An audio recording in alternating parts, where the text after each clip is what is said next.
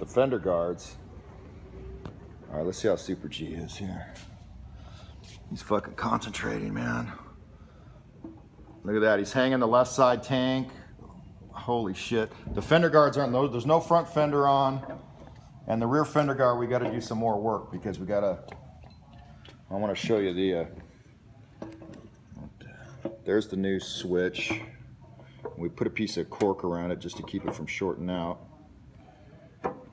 The freaking tank looks fucking badass on it though. Super G is gonna claim credit on fucking painting that whole thing, so I don't even have, I can't even say. The bags are on it. Super G's got the bags on it. We don't have the bumper, we don't have the bumper guards on it yet. Cause that's kind of a fucking pain in the ass. But we'll get it. Okay, buddy, I'll shoot you out this little video so you can see a picture of Super G. Well, he's, oh, yeah, he'll do that. All right, buddy. Bye-bye.